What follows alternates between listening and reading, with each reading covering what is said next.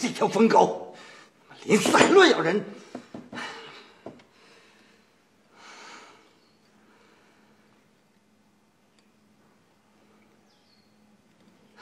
陈忠啊，你想不想发大财啊？大人，您您您您这什么意思？呃，这是三张一千两的银票，只要你给我做件事儿，这三千两银子就都是你的了。大人，您要小子做什么？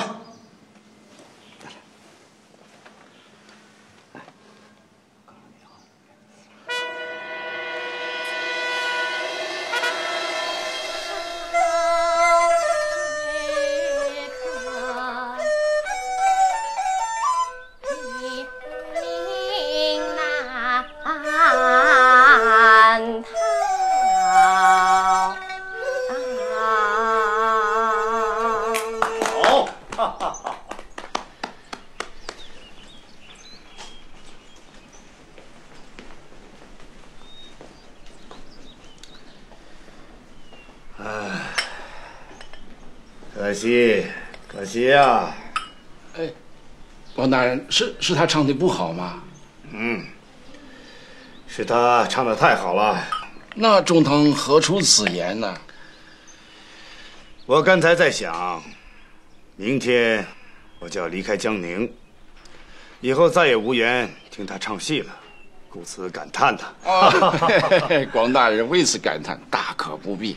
明日广大人离开之时，就让秦心随您去啊。只要你想听他唱戏，他随时随地都可以唱给您听。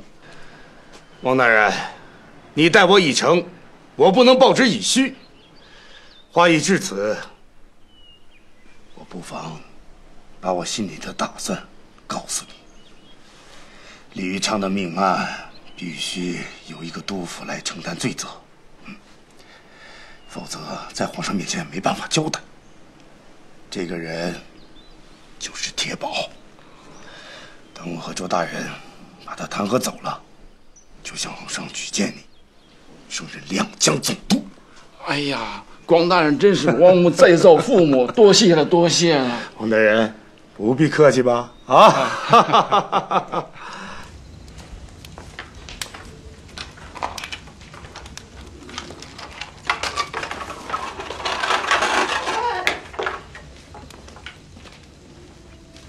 王大人说正在想办法救大人您出去呢，让大人您耐心的等着，真的，太好了，但还要等多久？也就两三天吧。哎，俗话说得好，留得青山在，不怕没柴烧。大人您也好几天没好好吃一顿，今天好好吃一顿。好，陈重，等我出去了，一定重重有赏。那小子谢谢大人了，小子告退，小子告退。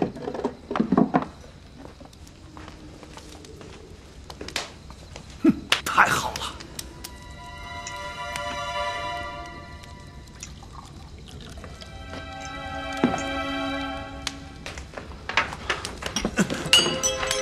大胆奴才，你不想活了你！你才不想活了呢！你自己看看。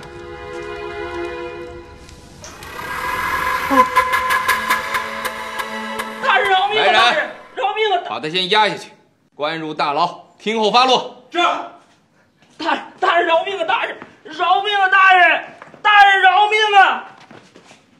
大人饶命啊！大人大人饶命啊！你为什么救王胜汉？小人知道他是要犯，案子还没审结，自然是轻易死不得。昨天晚上我值更，碰巧看见陈忠下毒，怕王申汉死了，我自己会受连累，才出手救他。你看着我。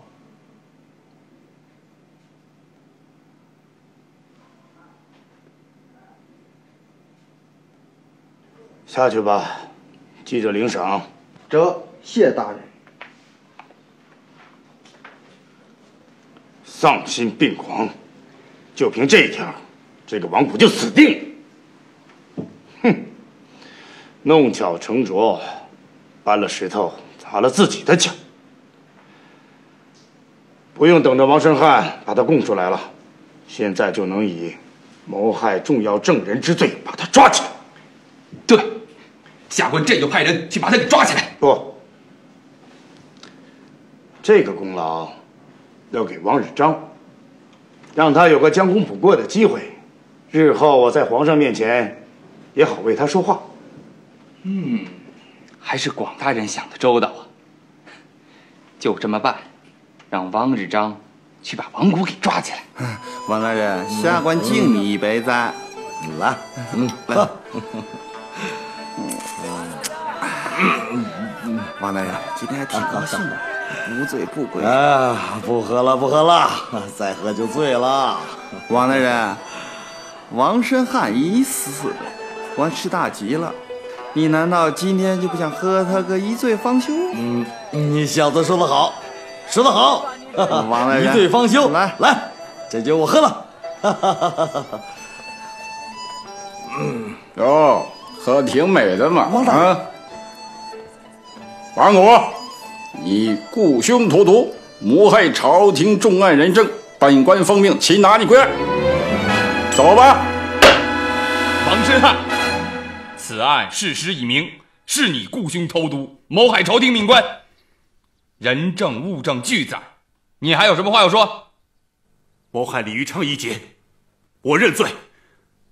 可是大人，我还有一处，我心里不服。有什么不服，说出来。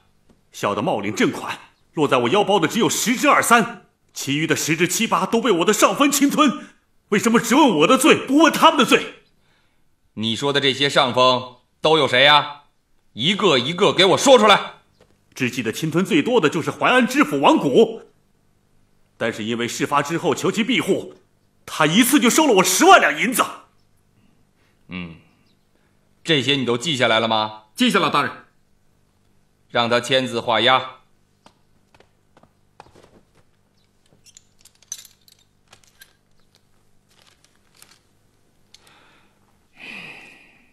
大人，大人，事已至此，该认的我都认了。可是巡抚大人也不能把他的罪责推得干干净净啊！案发以后，特别是皇上下旨查办此案以后，巡抚大人就已经知道内情，就是他下令让所有人统一口径，掩盖事情真相啊！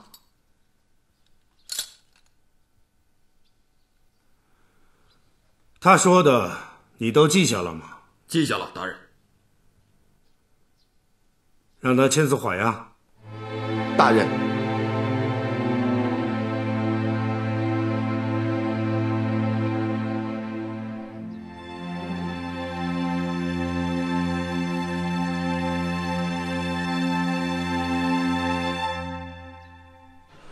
广大人，这两份口供简直是血口喷人，不可采信，哎，不可采信呐、王大人，你说的我都相信，可是怎么能让皇上相信你，而不相信这两份口供呢？哎呀那就请广中堂在皇上面前多多周旋了。这是二十万两银票，务请广中堂收下。下官的前程命运全靠中堂大人了，拜托拜托啊！王大人实在太客气了。其实啊，这两份口供我根本就没有打算公开它。既然大人担忧他，那我看也没有留着的必要啊。哦，谢谢中堂大人，谢谢中堂大人。王大人，我曾经说举荐你出任两江总督，绝非虚言。等我回到京城之后，就着手操办此事，你就静候佳音吧。哎呀，多谢中堂大人，事成之后，下官必有厚报。王大人太客气了。哎，这天色还早，不如我们再一起听一段戏如何？呃，那那太好了，太好了。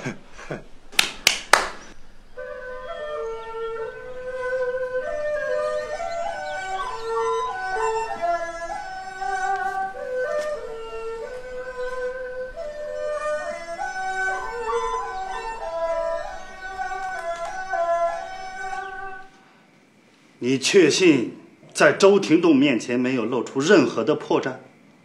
应该没有，大人。没有就好。很显然，广兴是想借这次办案之机，一手敛财，一手培植自己的余党。这个案子，他肯定会给办走了样啊！我绝对不能让他的企图得逞。对，不能让他得逞。他们什么时候动身返京？明天早上，他们就押着一干人犯动身回京。明天，我一定要趁这次向皇上禀报河工进展的机会，赶在他们之前把李玉昌命案的真相禀报皇上。好，我们一定要赶在他的前面。今天晚上就动身，不能再耽搁了。好，来人，在老爷。收拾东西，马上启程。是老爷。皇上，河工事务臣将一如既往，请皇上放心。臣这次回京觐见，还有一事想向皇上禀报，只是害怕有些越俎代庖之嫌。哎，你是朝中重臣，无论大事小事都可以过问。心里不要有所顾忌，说吧。谢皇上。臣要禀报的，就是李玉昌命案的真相。哦，广兴和周廷栋查案还没回来，朕正惦记此事呢。你快说。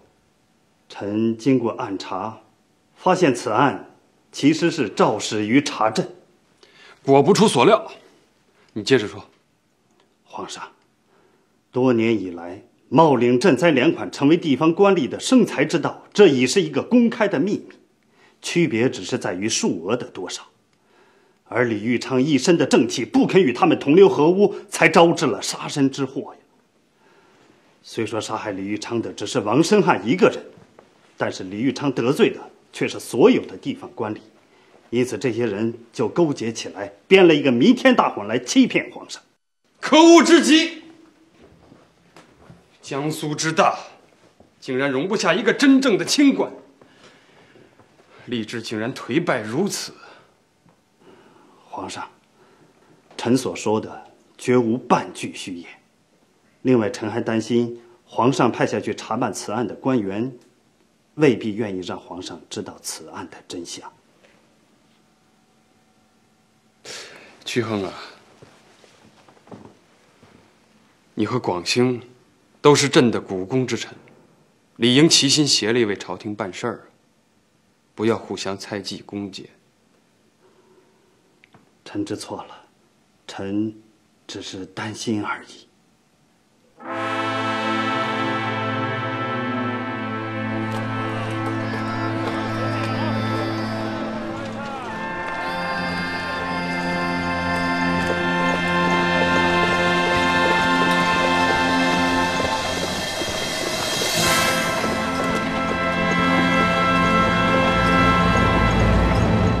此案主谋为王申汉，主犯为王申汉及其长随李祥。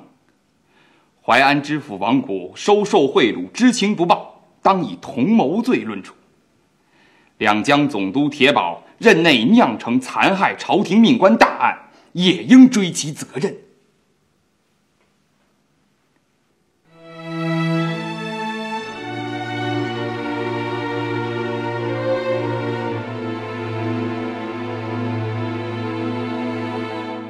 你说完了，皇上，李玉昌命案的真相，臣已经禀报完了。不过，臣还有一事要向皇上禀报。说，皇上，这是李玉昌的叔父李太清送过来的经幡。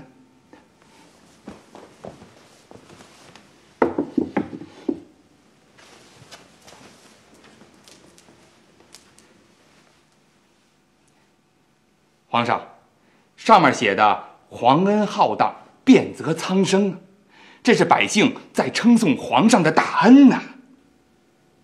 哼，那秦晋高悬，昭雪沉冤，就是在称颂你和广兴了，很受用，对不对？要不怎么会挂在马车外面？从江苏到山东，从山东到河北，从河北到京城，一路招摇过市。皇上，臣知罪了。那么这个案子，你办的果然很漂亮，配得上这八个字吗？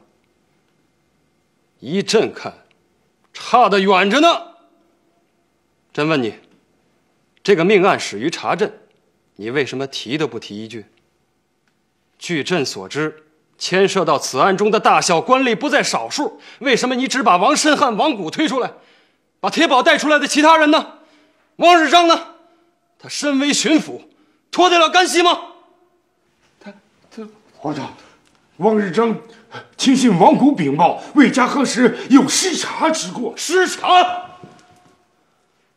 问他一个失察之罪，就能让李玉昌起死回生吗？一个清官，一位忠臣，就是因为不肯同流合污，先是被一个贪官谋害，真相又被一群贪官蓄意掩盖，含冤于九泉之下。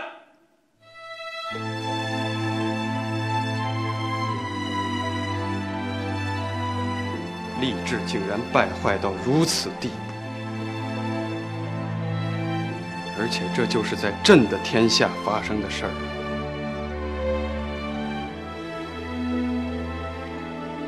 朕也配不上这“皇恩浩荡，变则苍生”八个字儿。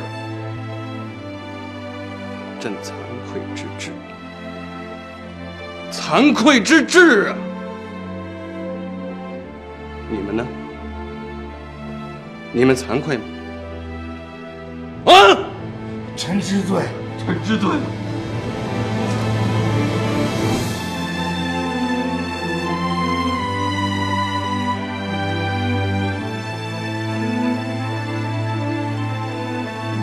奉天承运，皇帝诏曰：李余昌命案涉案案犯及官吏判决如下：将王申汉、李强于李余昌墓前处死，以慰冤魂；赐王谷自尽，查没家产。江宁布政使杨户属安察使胡克家，据革职遣送河工效力。江苏巡抚汪日章革职回籍，两江总督铁保革职发往敌化效力赎罪，钦此。广大人，我查到向皇上告密的人了。是谁？戴屈亨。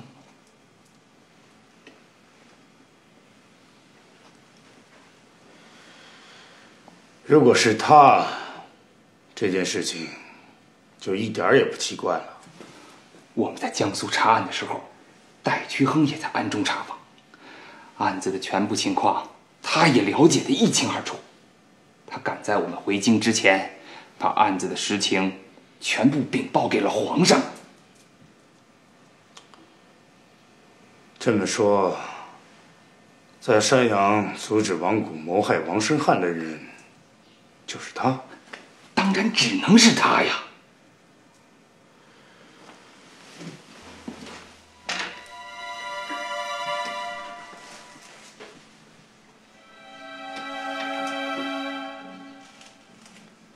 这个戴屈亨如此的卖力，他究竟是何企图？依我看呢，他是想把两江攥在他自己的手里。没那么容易。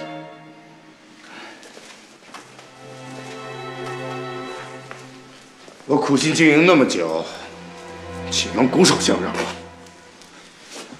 那咱们就赶快想想办法来啊！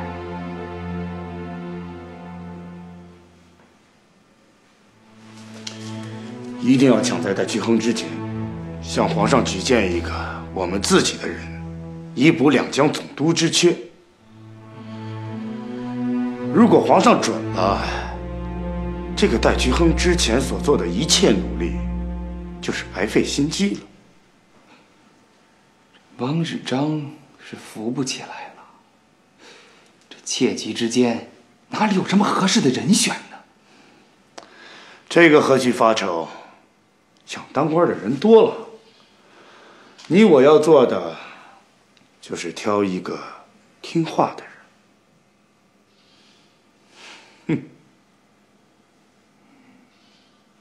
大人，怎么样？有什么新的消息？大人，我已经打听清楚了，还是未定之数。大人，您还有机会。这两江总督可是个难得的匪缺，大人切不可轻易放过呀。这个我心里清楚，谁都知道，要想得到这个肥缺，没有通天的路子是绝对办不成的。眼下最要紧的是要尽快搞清楚哪条路子更可靠。哼，这还用问吗？当然是广中堂。你没见他现在是多得宠啊！皇上什么事情不跟他商量，什么事情不倚仗他，真是一人之下，万人之上。连戴中堂都给他挤走了，你说他还有什么事情办不成的？走他的路子，应该是没有错。却以为不全如此。戴中堂虽然放了外任，但是这是皇上在他和广中堂之间的权衡之计，这与贬斥并不相同。而且啊，水患是皇上的心腹大患之一，派戴中堂去治水，实质上是委能臣以重任，使其有建功立业的机会。这皇上早晚还会把他召回身边的。据我所知。这朝中的大事，皇上都还要去征求戴中堂的意见。自从戴中堂总理河工事务之后，这朝廷和河督府之间的联系是频繁的很呐。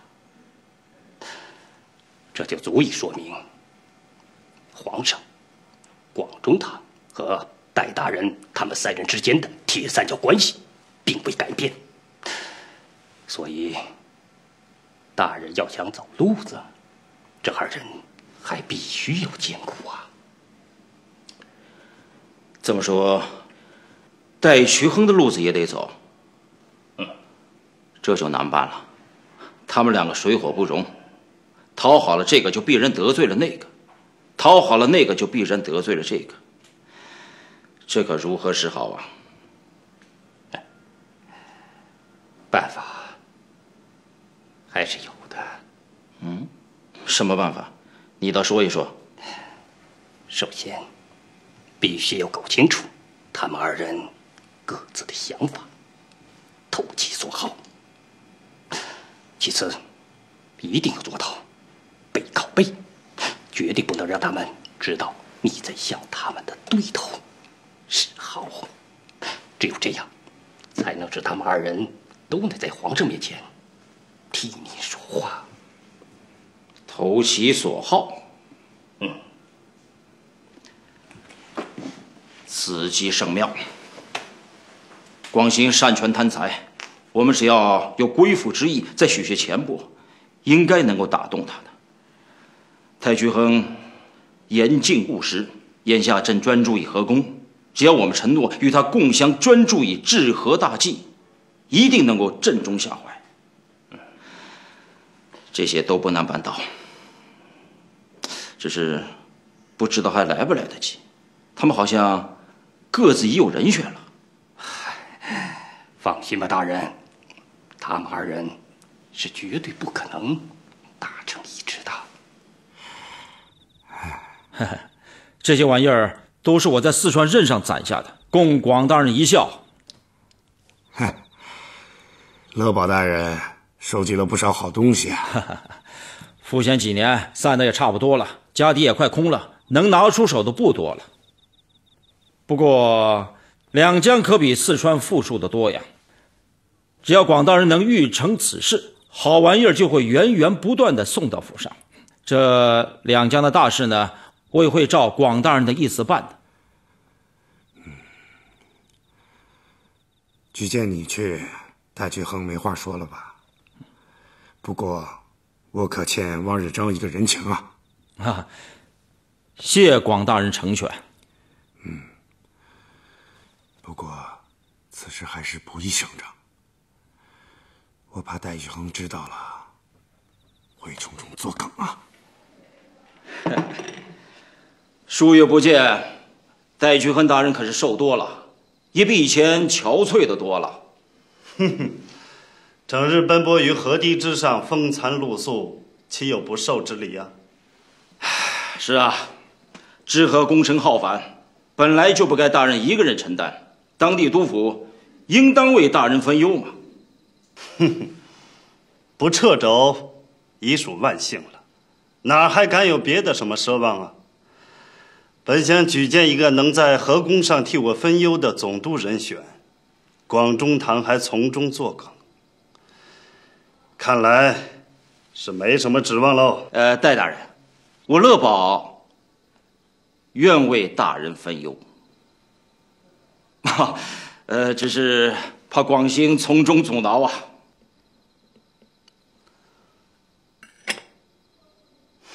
哼哼。论资历，论品级，你都够了，倒不失为一合适人选。乐宝大人，对于你我别无他求，只要你真能帮我把治河工程顺利的完成，足矣。皇上为此已忧虑多年了，灾区百姓也实在是太可怜了。假如治河工程再这么拖下去，你我这些做官的，恐怕一辈子都要愧对于自己的良心。戴大人，我乐宝绝对不会做对不起皇上、对不起百姓、对不起良心的事情。好，我会向皇上举荐你，但此事不宜声张，以免广中堂那边再生出什么幺蛾子来啊！下官明白，谢戴大人。哼，不谢。两江乃我大清重地，出不得半点乱子。总督之职不能再这么空着了。今天无论如何，也要把这个总督的人选定下来。哼，哼，看，还没说话呢，又开始斗气儿了。朕为此事急的是寝食难安，可你们呢？还在为一己私怨而不惜耽误朝政，你们这算是贤良之臣吗？你们心里还有没有朕？替皇上息怒，臣知错了。行了行了，都起来吧。谢皇上，谢皇上。你们不是都各自举荐了一个人选吗？把折子呈上来，朕来最后定夺。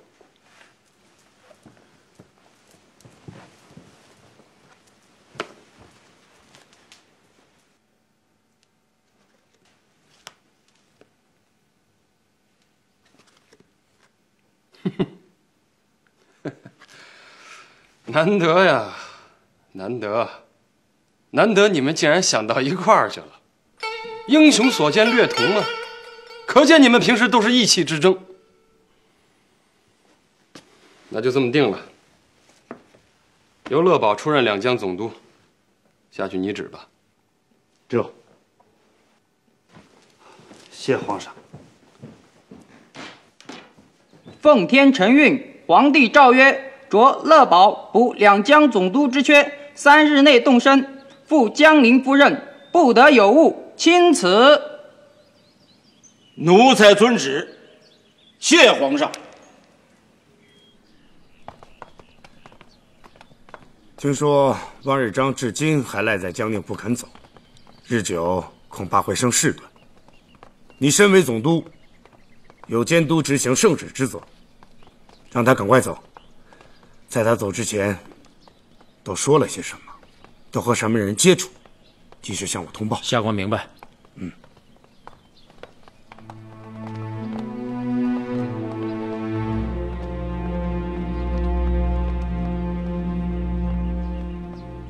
喂，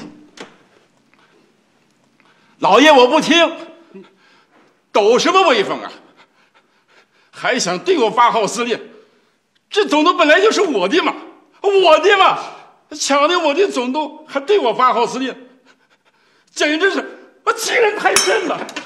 可可是老爷，两个公差还在外头候着呢。啊，滚！老爷，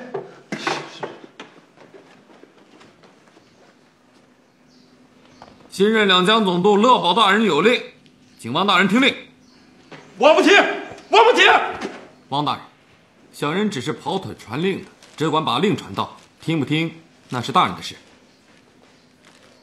依照日前所颁圣旨，王日章处革职回籍，皇上着本督监督执行。现王日章本月之内离开江宁，返回江西老家，不得无故滞留。走。我不听，我不走。别想把我轻易打发走。我要见广中堂，我要叫你广中堂讨个说法。啊呸！广兴什么东西啊？收人财物，啊美女铁不起来办事，连和珅都不如。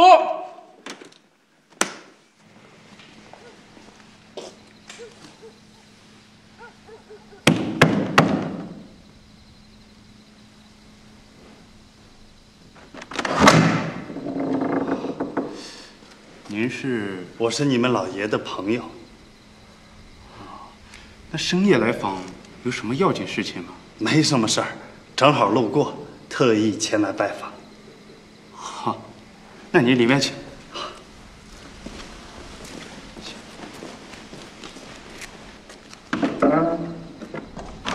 戴大人深夜屈驾造访，不知所为何事啊？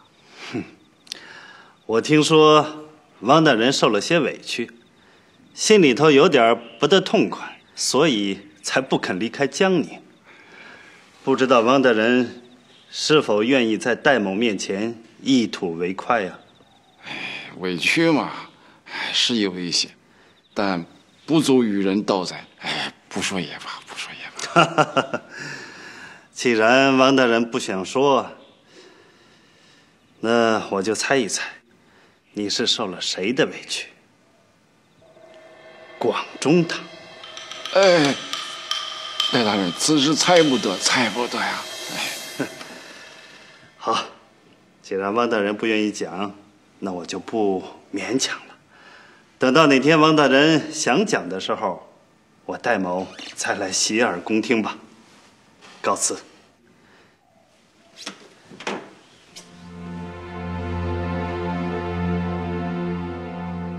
好啊，又一处决口合龙了，这太好了！三位大人辛苦了。乐大人能够在百忙之中亲自上堤视察，足见对河工的重视，多谢。各位大人如此的辛劳，本督岂能袖手旁观？刚才啊，走马观花的看了一下，工程进展还算顺利，还算顺利啊！决口的河堤即将全部合拢，下一步呀，该转向导流灌溉工程了。哎，对了，各位大人，功臣用的钱粮还跟得上吗？承蒙乐大人关照，粮款能及时的播放。不过工程现在……哎，戴大人，您这是？多年在河堤之上奔波劳碌，积劳成疾呀。就是啊，不管我怎么说，他就是不肯下工地休息。别说了，别再说了。工程不完，我绝不离开工地。偏手知足，鞠躬尽瘁，说的就是戴大人您呐。过些天进京觐见，本督专门要向皇上请旨，嘉奖戴大人。哎，不必如此，不必如此，乐大人，不必如此，否则本官倒有沽名钓誉之嫌呐。不过得了点小病，这二位大人才是真的积劳成疾，他们的身体比我更坏，不过这硬挺着罢了。您尽可放心，我们的身体。足以可以撑到工程完工。感人之深呐，感人之深呐！工地上的情形，本督一定要向皇上一一禀报的。短短一年时间，就完成了多年来都没完成的工程，数百万户灾民重返家园，安居乐业，好啊！戴渠亨治河功效显著，特旨予以嘉奖。即日起恢复其大学士衔，着其回朝中效力。戴君元为河工积劳成疾，传诏予以抚慰，令其离职休养，以示朕体恤臣子之心。广兴啊，你旨今天就发出去。这，乐宝，臣在。你回去以后，立刻与戴旭亨共同商议这个南河总督的这个缺由谁来补上，尽快报上来。遵旨。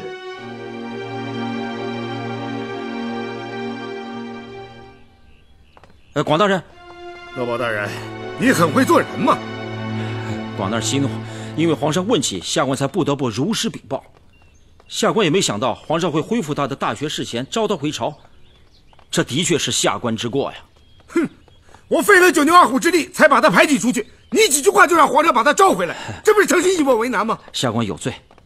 哎，广大人，王日章那里，下官已经照您的意思去办了。他走了。嗯。王日章疾步之去，赖在江宁不走，有点撒泼耍赖的意思。还扬言广大人给他一个说法，对广大人的声誉极其不利啊！这个无赖。不过广大人尽可放心，王日章那里，下官一定设法替你摆平，不让他给广大人添什么麻烦。那好，这件事情你一定要办得漂亮。下官明白。广中堂嫌戴渠亨在朝中碍手碍脚，殊不知他在江宁对我也是碍手碍脚。祭烛高香就送佛到西天，对我来说那是最好不过的。那就对不起了，广中堂，我当然要为自己着想了啊！这一招既能让戴渠亨离开江宁，同时又让他心里头。很是受用，真是好的不能再好了。嗯，哎，那这个南河总督举荐谁合适呢？嗯，这个顺水人情，就送给吴敬吧。此公赋闲已久，做官心切，同时又是个肯破费的主。看出来了，那好，就照此办理吧。是。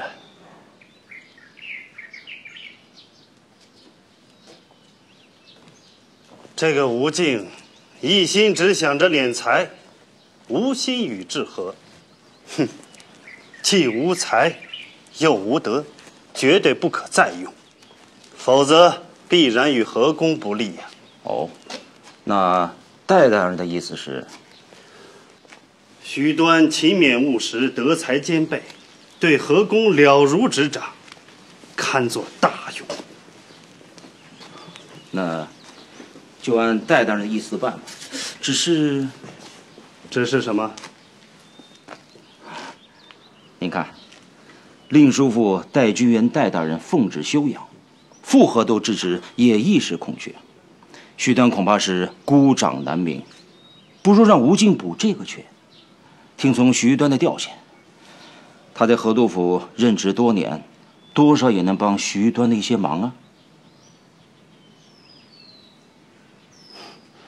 既然乐大人对这个吴敬如此的了解，那就按乐大人的意思去办吧。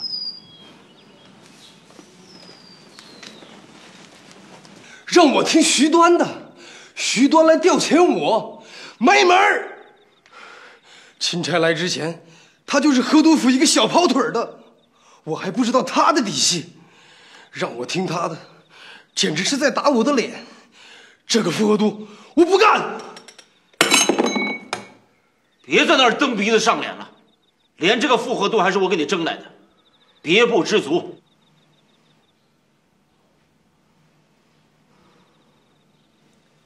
坐下，坐下。你看，这戴中堂的意思，我能有异议吗？我说你怎么就想不开呢？戴中他马上就要回京了，他这一走，这里不是我说了算？你何愁没有出头之日呢？那我就听乐大人的。乐大人，下官的前程可全在您手里呀、放心吧，我心里有数。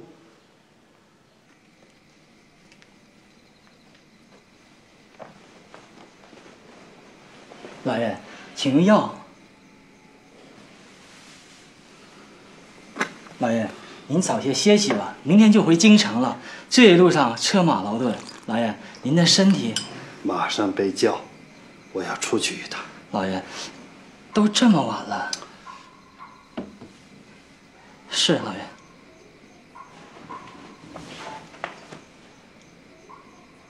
戴大人为何深夜来访啊？白天，贵府门前耳目众多，我是怕给汪大人带来一些不必要的麻烦。什么？耳目？我被监视了？不会吧？老爷，小人的叔父昨天来找过我，他回去的时候，身后一直有个人跟着他，直到家门口。啊汪大人，他们的厉害，你心里应该清楚。如何才能自保？你可得想明白了呀！明天我就要返京了，以后也恐怕不会再来。你心里要有什么委屈，今天就全讲给我听一听，否则就没这个机会喽。